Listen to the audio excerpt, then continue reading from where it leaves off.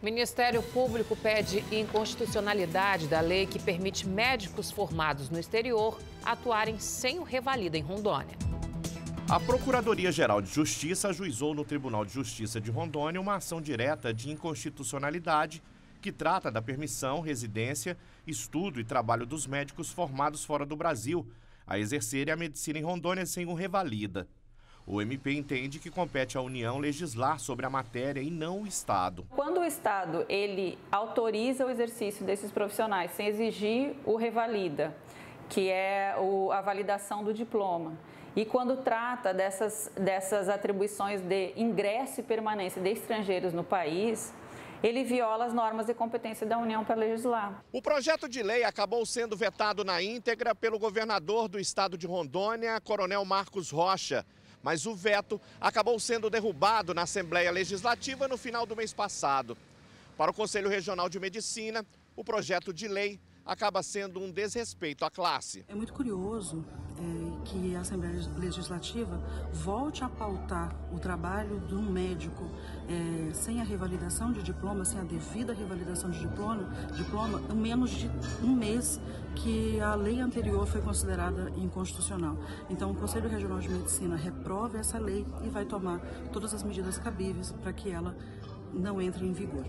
Na ação, o Procurador-Geral de Justiça, Ivanildo de Oliveira, solicita ainda medida cautelar, a fim de suspender o ato normativo, impugnado até o julgamento definitivo da ação. A lei, a LDB, ela fala que os diplomas de graduação expedidos no exterior, eles têm que ser validados no Brasil. E a, a Lei 13.959, ela diz que o Exame Nacional de Revalidação dispõe, né, trata do Exame Nacional de Revalidação de Diplomas dos Médicos, expedidos por instituições, por instituição de educação superior estrangeira, o Revalida. Então, são duas leis federais justamente porque a matéria deve ser legislada pela União e não pelo Estado. A ADI vai ser julgada pelo Tribunal de Justiça de Rondônia.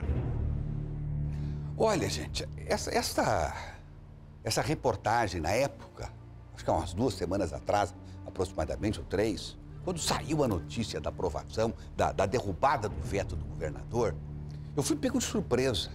Fui pego de surpresa. Eu imaginava que o governador teria condições de, de fazer com que o veto fosse mantido.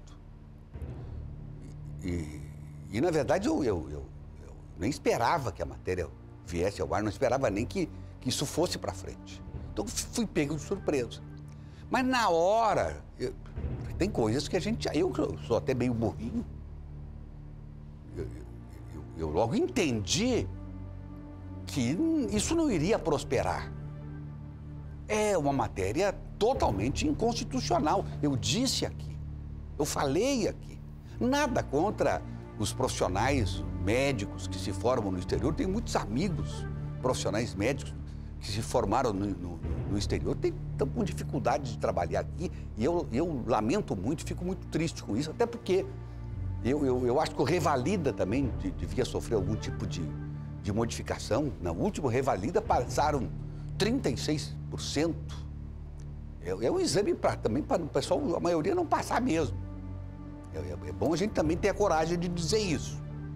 Mas, enfim, a lei foi feita para ser seguida até que se mude a lei. E a gente sabia que ia acontecer isso. Então, agora vem o Ministério Público e certamente no Judiciário isso vai morrer. Vai morrer. Isso não vai se manter de pé, lamentavelmente. Mas se cria uma expectativa em tantos jovens que se formaram no, no, no exterior, que lutaram, que brigaram, que batalharam, que se esforçaram, que sofreram, longe das suas pessoas queridas, enfim, e que viram aí uma expectativa, uma falsa expectativa. Isso não se faz. Então, eu acho que nós temos que buscar uma, um outro jeito, porque nós temos grandes profissionais formados no exterior e, e, não vamos subestimar quem estuda na Bolívia, não. Nós temos grandes médicos bolivianos que trabalham aqui, que têm muita competência. Médicos que, que estudaram no Paraguai, que estudaram na Argentina. Então não vamos, não vamos colocá-los como, como médicos de segunda categoria, não. Mas existe uma lei. Existem duas leis, melhor dizendo, como bem falou aí a promotora. Precisamos é resolver isso de uma outra forma, de uma forma mais objetiva, porque uma lei menor não pode suplantar a lei maior. A lei estadual é menor, a lei federal é maior. É assim que, se, que, que, que funciona a hierarquia dos poderes. E, lamentavelmente, não será desta vez. Mas é preciso que se faça alguma coisa para que se facilite e que se possa efetivamente entender e saber até que ponto esses profissionais que estão, que estão ficando fora do Revalida, não estão sendo aprovados no Revalida, poderiam ser profissionais muito bem aproveitados aqui. Acho que o Revalida, pelo que a gente nota, percebe, observa, foi, ele é feito para a maioria ficar de fora.